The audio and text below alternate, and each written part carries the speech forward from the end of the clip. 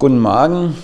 Ich gehe davon aus, dass ähm, die Ergebnisse der Sondierungsgespräche den Beginn markieren von Koalitionsverhandlungen. Die SPD muss noch durch einen Parteitag äh, äh, durch. Ich glaube aber, äh, wir können davon ausgehen, es wird zu einer großen Koalition kommen. Die Ergebnisse der Sondierungsgespräche sind so ausgegangen, wie wir es vorausgesagt haben. Es wird Reparaturen geben. Frau Merkel wird, hat Zugeständnisse gemacht an die SPD, aber es ist nicht der große Wurf herausgekommen. Die grundlegenden gesellschaftlichen Probleme wie Altersarmut, prekäre Arbeit, die Finanzierung des Öffentlichen sind in Wirklichkeit nicht gelöst. Es gibt einige sozialpolitische Zugeständnisse Geständnisse, die aber unter dem äh, Strich äh, zu kurz greifen. Ich mache nur ein paar Beispiele. Bei der Rente. Die Festschreibung auf 48 Prozent äh, bis 2025 wird eben leider der Verkäuferin, den Menschen mit unteren und mittleren Einkommen nicht aus der Altersarmut helfen. Dazu hätte man mindestens 53 Prozent gebraucht und das hätte auch noch nicht ganz ausgereicht. Also die 10 Prozent oberhalb der Grundsicherung sind nicht armutsfest. Es ist immer noch deutlich unter 900 äh, Euro. Davon kann man in Deutschland nicht wirklich vernünftig äh, leben. Die Kindergelderhöhung ist zu begrüßen, greift aber zu kurz. Das äh, Programm gegen Armut und Kinderarmut beschränkt sich auf Absichtserklärungen. Da kann man noch nichts davon ableiten die äh, ganzen Maßnahmen zur Gesundheitsversorgung. Es ist zu begrüßen, dass die Arbeitgeber wieder die gleichen Beiträge bezahlen müssen wie die Arbeitnehmer. Das haben wir schon lange gefordert. Dadurch alleine ist aber noch nicht die paritätische Finanzierung gesichert, äh, weil die Arbeitnehmer ganz alleine die Zuzahlungen für Medikamente vornehmen müssen. Also wir haben immer noch ein starkes äh, Ungleichgewicht und der SPD ist nicht einmal ein Einstieg in die Bürgerversicherung äh, gelungen. Also nicht einmal bei den Beamten. Das hätte ich eigentlich erwartet, dass es zumindest eine Richtung gibt für eine, für eine Bürgerversicherung. Haben wir nicht die ganze äh, Frage des sozialen Wohnungsbaus. Es ist zu begrüßen, dass eineinhalb Millionen Wohnungen bis 2021 äh, gebaut werden äh, sollen. Aber der Weg ist doch der falsche. Also es soll hauptsächlich über frei finanzierte Wohnungen äh, laufen.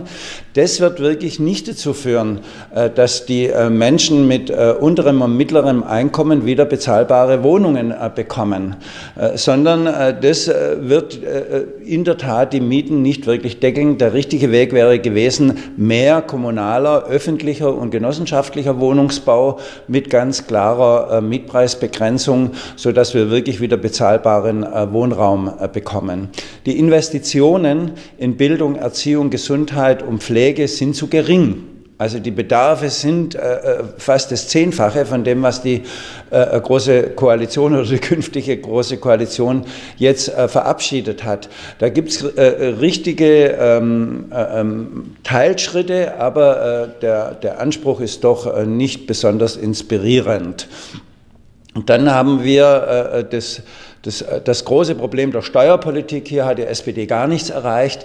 Warum jetzt ausgerechnet der Soli abgeschmolzen werden äh, muss, erschließt sich mir nicht. Es bezahlen ihn mehrheitlich überwiegend die, die ohnehin mehr verdienen, also eine wirkliche Entlastung der unteren und mittleren äh, äh, Bevölkerungsgruppen wird dadurch nicht stattfinden. Es wird aber das Geld fehlen für regionale Strukturpolitik. Wir haben immer noch eine äh, zu geringe wirtschaftliche Entwicklung im Osten. Wir haben inzwischen strukturschwache Regionen im Westen. Da müssen wir nur in manchen Bereichen ins Ruhrgebiet reingucken. Da wäre es wichtig gewesen, ein Strukturprogramm aufzulegen. Was völlig fehlt, ist ein Programm gegen prekäre Arbeit. Wir haben 30 Prozent äh, unsichere Arbeitsplätze. In der Frage sachgrundlose Befristungen gibt es gar keinen Fortschritt, obwohl das ein äh, zentrales Thema äh, der SPD war. Es gibt keinen wirklichen Fortschritt bei struktureller Unterbeschäftigung, also unfreiwilliger Teilzeit, Zehn-Stunden-Verträge, alles, was wir haben. Im Gegenteil, die MIDI Jobs sollen sogar noch ausgebaut und äh, begünstigt werden. Das ist vollkommen der falsche äh, Schritt. Ähm, wir hätten ein klares Programm gebraucht das bedeutet, wir schaffen Arbeit, von der du leben kannst, nicht irgendwelche Arbeitsplätze und nicht unsichere, befristete Arbeitsplätze. Es fehlt ein Anspruch gegen Leiharbeit. Also die Evaluierung bis 2019 ist doch äh, sehr anspruchslos. Also man kann unter dem Strich sagen, die zentralen sozialen äh, und ökonomischen Probleme in diesem Land werden mit, dieser, mit diesen Sondierungsergebnissen nicht gelöst. Es, wird, es gibt Reparaturen einer Politik, die Sie selber angerichtet haben, einer falschen äh, Sozialpolitik.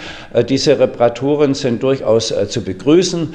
Ob das ausreicht, über vier Jahre eine Regierung zu bilden, die bei der Bevölkerung ankommt, da habe ich doch große Zweifel. Eine Frage noch zur Finanzpolitik. Der Spitzensteuersatz soll jetzt ja offensichtlich nicht wie von der SPD gefordert erhöht werden. Was würden Sie sagen, wie konsequent hat da die SPD verhandelt? Ja, die SPD hat ein paar Sachen bekommen, aber dass ich schon mal darstellen muss, wir haben 60 Programmpunkte durchgesetzt, deutet eher auf einen Gemischtwarenladen hin als auf einen großen Wurf. Aber gerade bei der Steuerpolitik ist besonders äh, äh, äh ersichtlich, dass sich hier die SPD nicht durchgesetzt hat. Ich fand ja, dass 60.000 zu früh äh, ist. Also wenn man mit 60.000 Spitzensteuersatz ansetzt, den Spitzensteuersatz ansetzt, das setzt zu früh ein. Das trifft auch Facharbeiter und Lehrer und so weiter. Wir hätten da eher gewollt, dass man später einsetzt, also bei 86.000, aber dafür den Spitzensteuersatz höher macht. Und dass man deutlich untere und mittlere Einkommen entlastet, das geschieht ja praktisch gar nicht. Der Soli-Beitrag ist kein äh, äh, Beitrag da dazu.